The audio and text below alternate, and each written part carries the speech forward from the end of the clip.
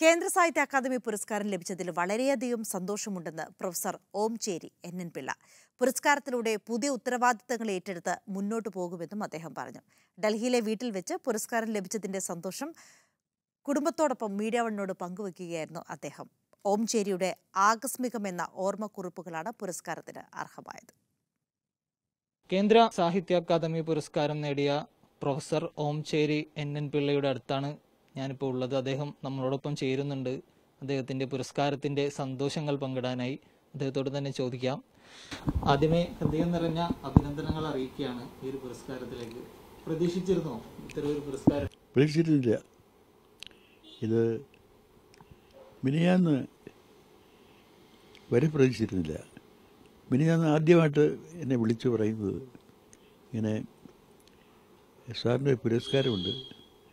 അപ്പോൾ എന്റെ റീസെന്റ് അടുത്ത കാലത്ത് ആ ഗൾഫിലെ ഒരു പുരസ്കാരം ഉണ്ടായിരുന്നു ഗൾഫ് അന്നേരം അത് തീർച്ചയായിരിക്കും ഞാൻ പറഞ്ഞ അത് കഴിഞ്ഞല്ലോ പുരസ്കാരം അല്ല ഇത് വേറെ പുരസ്കാരമാണ് അതെന്താണെന്ന് ചോദിച്ചു കഴിഞ്ഞാൽ സാഹിത്യ അക്കാദമി കേന്ദ്ര സാഹിത്യ അക്കാദമിയുടെ പുരസ്കാരമാണ് ഒരു സമഗ്ര സംഭാവനയും പിന്നെ ഈ ആകസ്മികം എന്നുള്ള പുസ്തകത്തിന് പ്രത്യേകിച്ചും അത് എന്റെ ആത്മകഥയാണ്.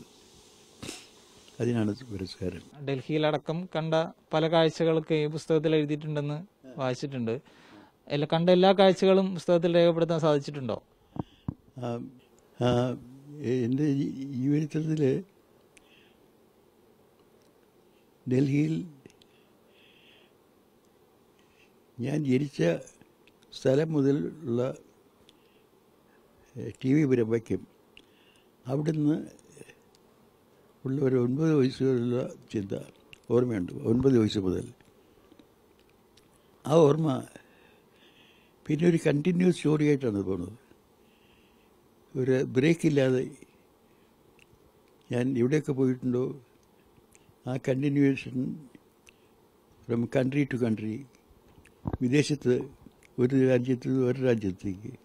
അതെല്ലാം കണ്ടിന്യൂസ് ഒരു ചെയിൻ വർക്ക് പോലെയാണ് ഇറ്റ് സോ ഹാപ്പൻഡ് എന്റെ ഈ ആകസ്മികത്തിന്റെ English book it so happened എന്നാണ് അതിങ്ങനെ സംഭവിക്കുന്നു.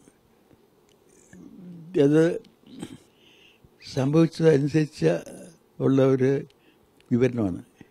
പക്ഷേ അതിൽ ഒരു ക്രിയേറ്റീവ് എലിമെന്റ് ഉണ്ട് അതിൽ ഒരു വിവരണമല്ല. ഇറ്റ്സ് സർഗ സർവ സർഗാത്മകമായ ഒരു ആവിഷ്കാരമാണ്. പത്രപ്രവർത്തനം മുതൽ നാടകരംഗ നാടകരചന വരെ വളരെയധികം സജീവമായിരുന്ന ആളായിരുന്നു. ഇതിനൊക്കെയുള്ള ഒരു ഊർജം എവിടെ നിന്നായിരുന്നു വിവിധ രംഗങ്ങളിൽ സജീവമാകാനുള്ള?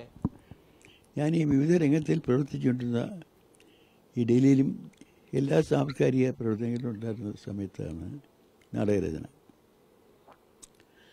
അന്ന് ഈ നാടകരചന രാത്രിയിൽ ഇരുന്ന് എഴുതും.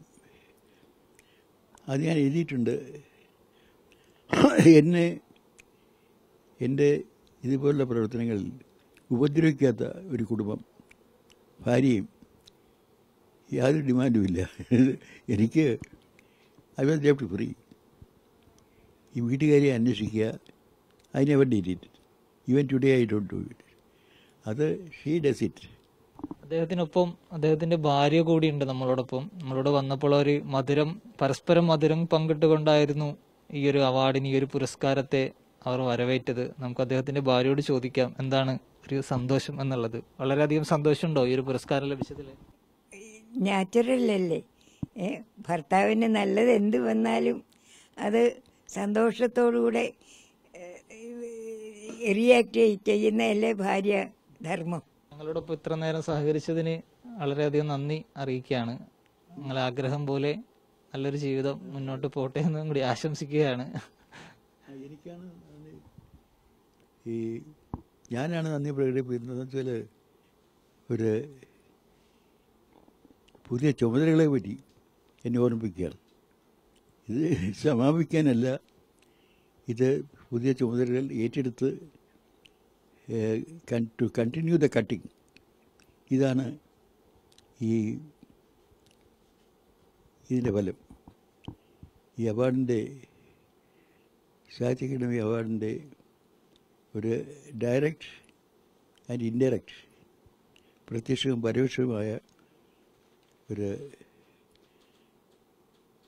ഒരു ഫലം ഒരു ഹേതുവും ഫലവും ഇതാണ്. എന്തെങ്കിലും ചെയ്യണം ചെയ്തുകൊണ്ടിരിക്കണം എന്നുള്ള ഒരു നിശ്ചയം ഒരു താല്പര്യം അതാണ് ഇതിന്റെ അൾട്ടിമേറ്റ്ലി എല്ലാവിധ ആശംസകളും ഒരിക്കൽ കൂടി നേരുകയാണ് ഈ ഒരു അവാർഡ് ലഭിച്ചതിൽ. എന്തായാലും ഡൽഹിയിലെ വസതിയിൽ ഇരുവരും വലിയ സന്തോഷത്തിൽ തന്നെയാണ് ഈ ഒരു പുരസ്കാര വിവരം അറിഞ്ഞത് മുതൽ.